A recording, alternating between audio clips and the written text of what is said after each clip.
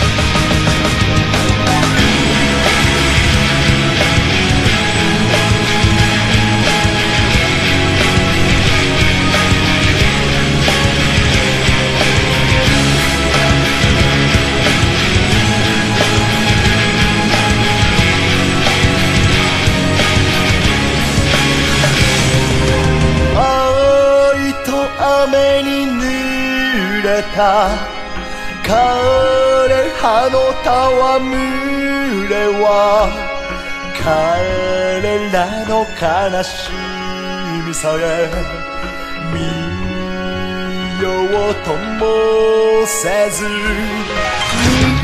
自らの心の裏側に張り付き壊れる思いだけを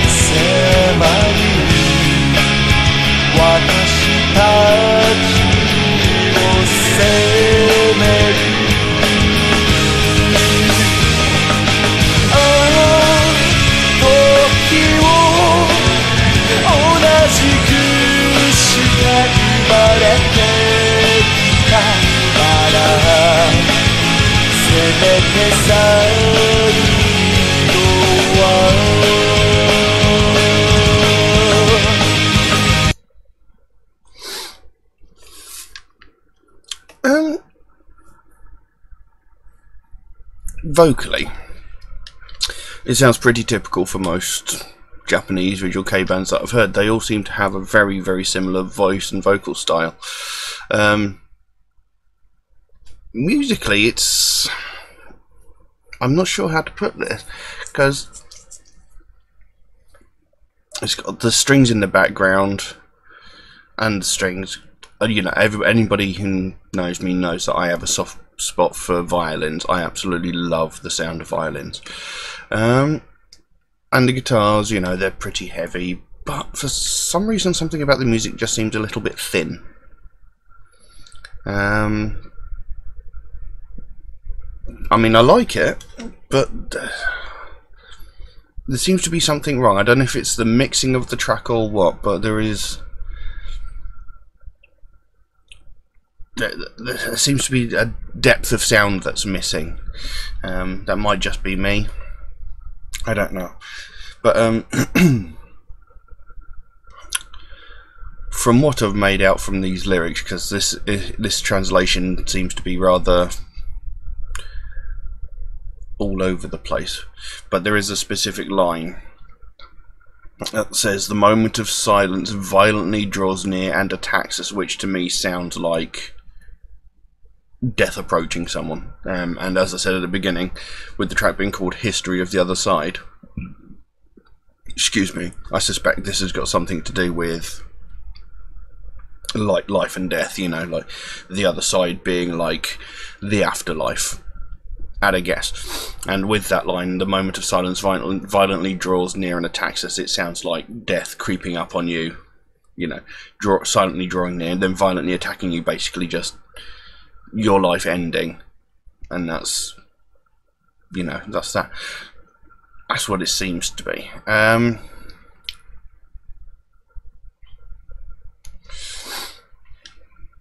uh, but yeah, the, this thing, the translation doesn't. I'm not sure whether it's like entirely accurate or if they've just translated it like word for word verbatim, and rather than translating the sentences with meaning because the the first verse here it says the game with dead leaves which are drenched in love and rain without seeing their sadness closely watching the back of our own hearts we only protect those thoughts that seem to break.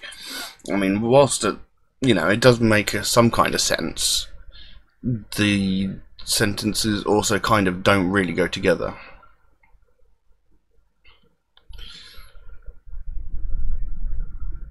I mean, watching closely watching the back of our own hearts. I'm not even sure what that is. Although that line there, we only protect those sorts that seem to break. That's that's kind of a you know, a good line, you know, protecting the thoughts that seem to break. We only closely guard the ones that we're afraid might shatter, sort of like our perceptions of someone, or you know, romantic thoughts or something towards a person. You you protect those. You hold those ones closest. Other thoughts are like, you know, fleeting, and you can just push aside. I don't know. But anyway, I'm not entirely sure. But well, we'll carry on and see where this goes.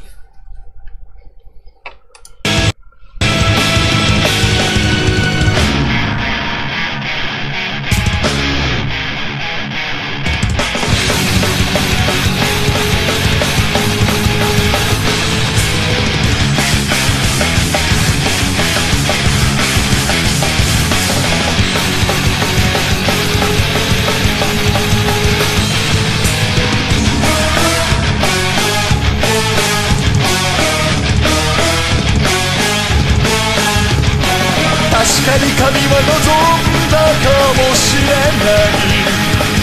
海で大地を咲き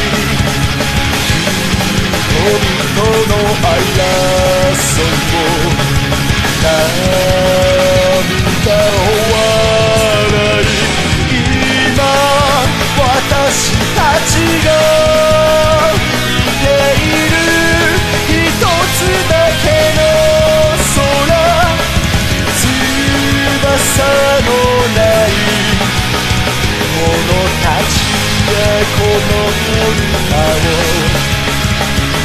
やがてこの世界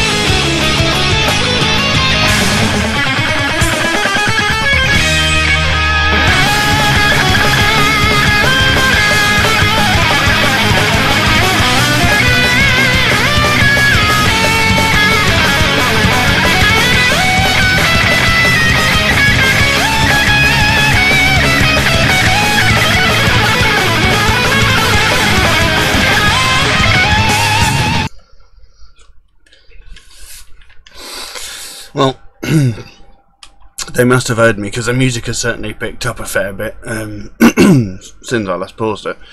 You know, they're just right in the middle of some pretty awesome guitar solos. Um,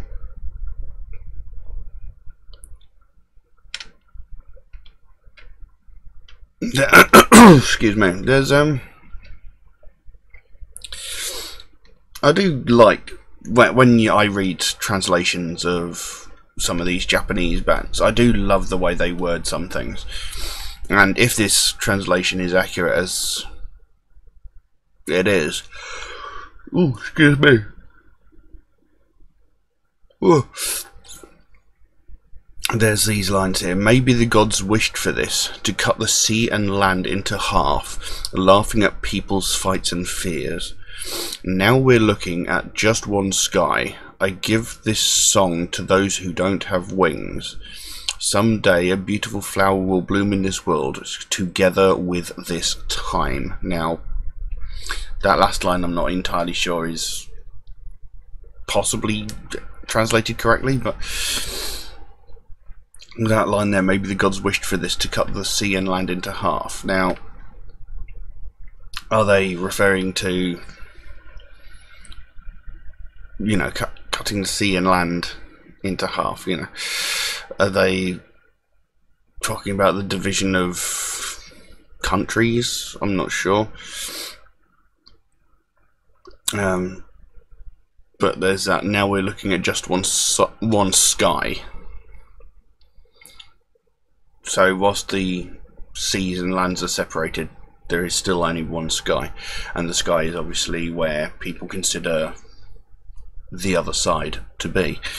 Um, and I give this song to those who don't have wings. So he's offering, you know, like he's offering the song to those people who aren't on the other side, so that they can sort of feel some some ease, maybe. And the phone's ringing. I'm not going to answer that. Um,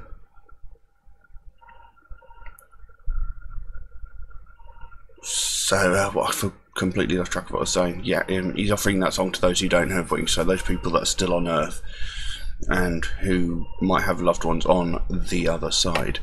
Um, so maybe he's offering it as some sort of solace, as an explanation to the people on the other side, you know, saying like, you know, they're happy, they're contented, they're okay now, possibly. Um, again, this is pure guesswork because I don't know how accurate this translation is. So, um, yeah, the the music is certainly seemed to have picked up from when the song started. Maybe a, I don't know, but I, I do I do quite like it. I'd be interested to hear some more of their stuff because, I mean, like I said, with bands like um, Dir En Grey, X Japan, and Malice Mizer. I've heard multiple albums of theirs. Some of them are really, really good. Some of them are diabolically bad. So um, I would be interested in hearing more of their stuff. Hmm. Let's carry on.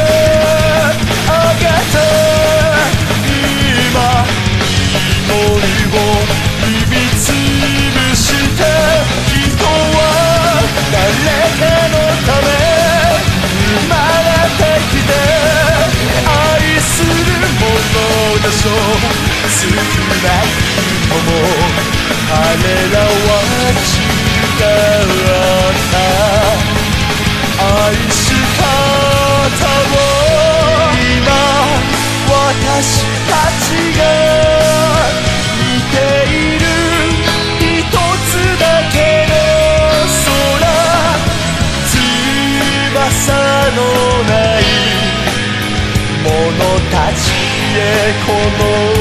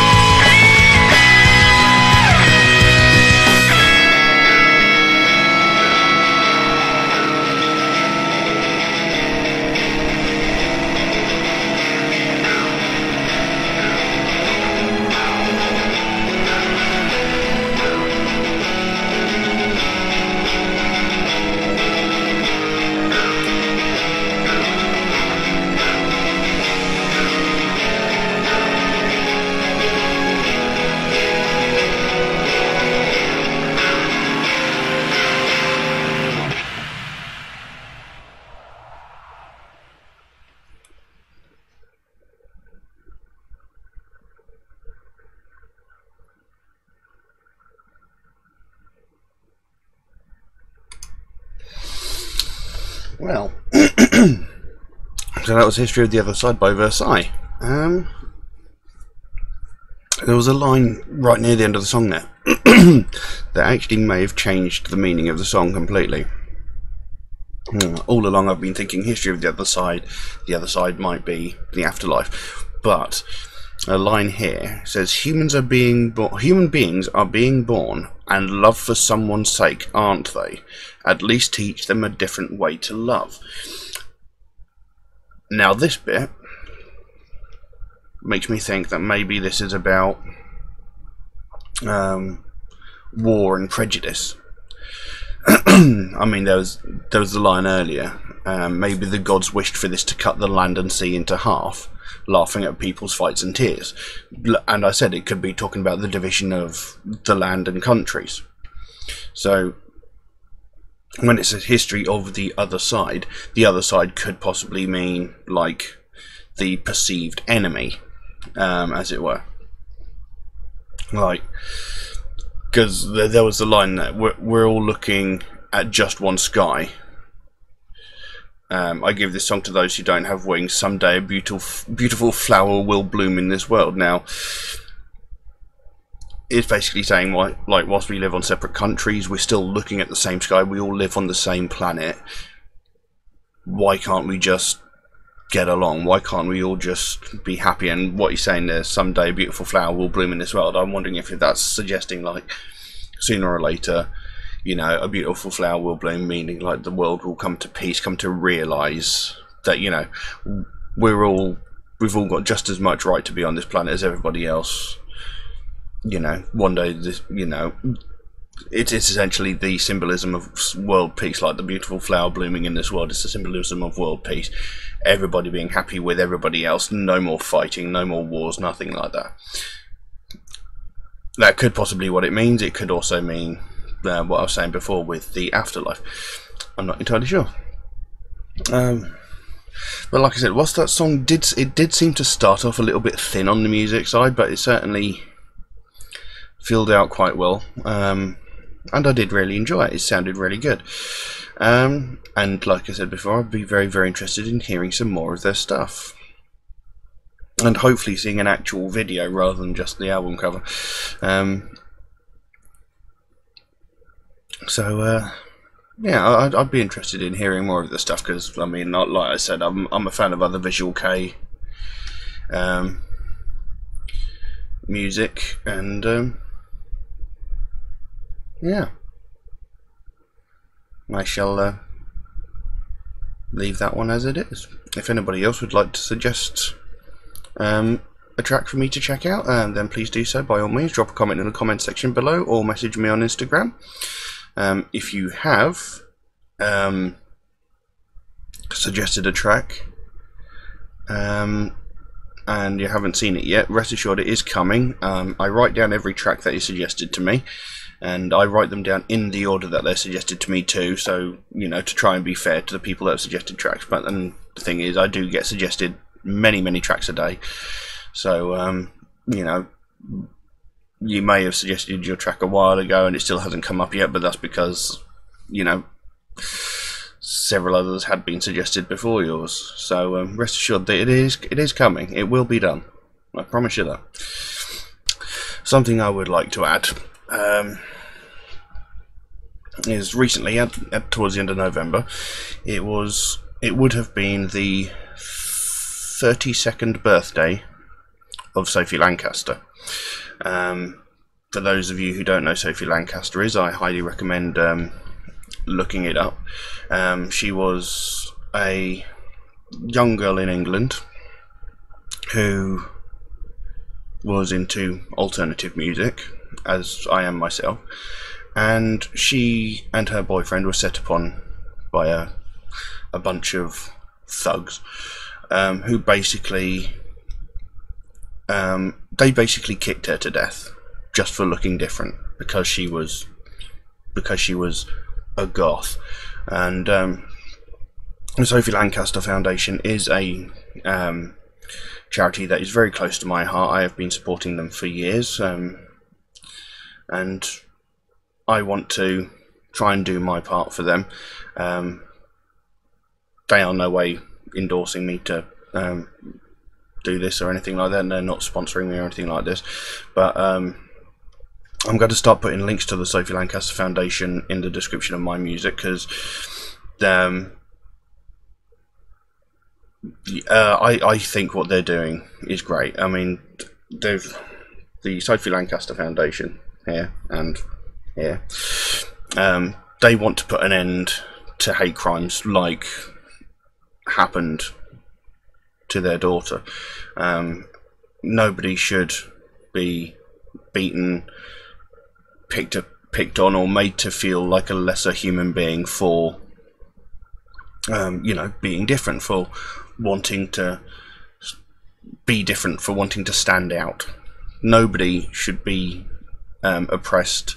Nobody should be like there shouldn't be any prejudice against someone just because they look, dress, or listen to different music. Um, so I'm going to be starting putting uh, links to the Sophie Lancaster Foundation into my um, video's description because it's a charity that does mean an awful lot to me. And um, having seen that message a few days ago that um, it would have been her 32nd birthday um, at the end of last month, it was it's, it's something that quite hit quite hit home for me because I mean there have been points in time where I've been jumped, I've been beaten up just because I look differently, um, because I listen to different music. You know, we shouldn't have to change who we are, how we behave, what music we listen to, just to conform to the societal norms. You know, if we want to listen to heavy music, we can listen to heavy music. If they want to listen to chart music, if they want to listen to gangster rap, whatever, they can do that. I mean, numerous times I've been walking down the street and I've had people yelling goth at me. People going, oh, you know, you know, you're a fucking weirdo, you're a freak. You know, I've had um, preachers on the street saying they can save my soul because of the way I dress. My soul doesn't need saving. There's nothing wrong with my soul. I'm not an inherently evil person. I don't worship Satan, which you consider to be an evil thing. You know, but you don't see people like us, you know, the people of alternative music styles, you don't see us walking down the streets shouting, oh, you listen to rap. You, you don't see us saying that because you listen to Snoop Dogg, you're gonna walk down the street and bust a cap in someone's ass. We're not, you know, you don't see us doing that to them. So why should, why would they do this to us? You know. Anyway, so as I said, I'm getting off track. Um, Sophie Lancaster is a very important um, charity to my heart. So I am going to start putting links to them in my uh, videos. Um, yeah. Anyway, I'll leave that as it is. Thank you all very, very much for watching, and I'll see you again soon. Bye bye.